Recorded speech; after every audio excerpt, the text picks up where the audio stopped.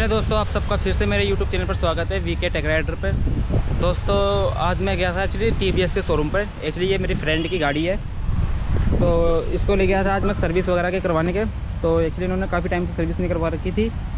तो इनके बाइक में प्रॉब्लम भी आ गई। एक्चुअली इन्होंने मोटर ये करवा रखी सलेंसर को चेंज काफ़ी दिक्कत आ रही है। इन्हें पुलिस वाले बार बार परेशान कर रहे हैं। तो इसका रेट हमने पता करने गए थे। तो इसका रेट हमें बताया टी वी सर्विस में इकतीस हज़ार रुपये का।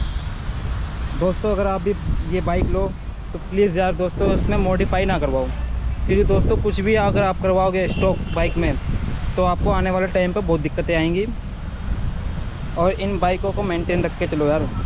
क्योंकि ये गाड़ी ऐसी है, अगर आपने इनमें कभी गलती से भी कुछ भी किया तो आपको बहुत नुकसान हो सकता है दोस्तों। और एक्चुअली यार, इन्होंने सर्विस बहुत टाइम हो गया इनको दो साल लिए हुए बाइक फ़र्स्ट टाइम सर्विस करवाते फ़र्स्ट सर्विस तो सेकेंड सर्विस अभी इन्होंने दो साल का ड्यू रहन दिया।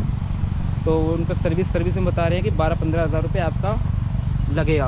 क्योंकि उन्होंने एक्चुअली गाड़ी में बाँध लगी है, दिक्कत। इसलिए दोस्तों, कभी भी इन गाड़ियों को लो आप तो टाइम टाइम टू टाइम इनको मेंटेन रख के चलो यार।